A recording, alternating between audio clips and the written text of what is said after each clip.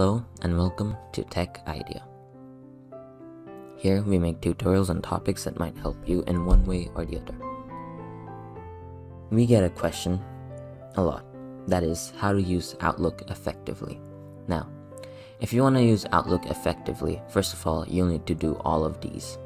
Other than this one, you don't need to upgrade to Microsoft 360. Second of all, you want to set up your calendars. You want to set up your important dates, the dates where you either have a submission or you have a meeting. You want to set up all that. If you want, you can also set up birthdays of people that's important to you. But let's get to the main part. We want to confirm our time zone. Now, we don't live in the United States of America. So, we don't want that time zone, obviously. We want to set the time zone that is according to our country and it's gonna take some time for you to search. But I can't seem to find my country time here. So I guess we will be avoiding this for now. I'm just gonna take another quick scroll. Honestly.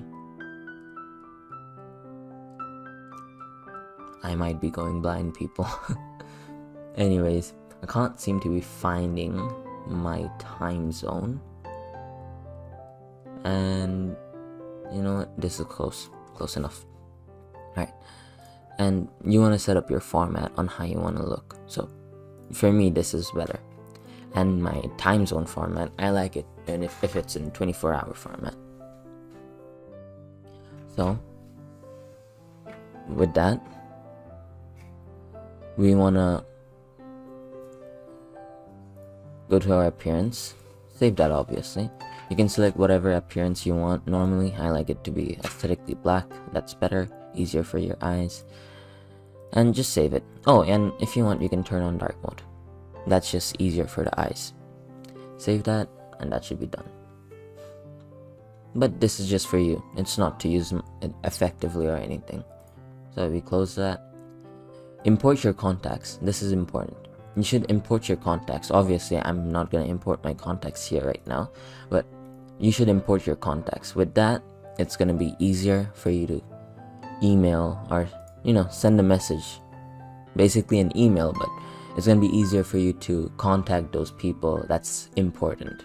For example your business partners or whatever and you want to get Outlook for your mobile phone and log in using the same email so that even when you're on the go, you can use Outlook. So, and you can also access the emails that people are sending you. Hopefully, this video helped you in one way or the other. Thank you for watching. And if this if you like the video, drop a like. And if you want to see more tutorials like this, don't forget to hit the subscribe button as well as hit the notification bell. Thank you so much for watching.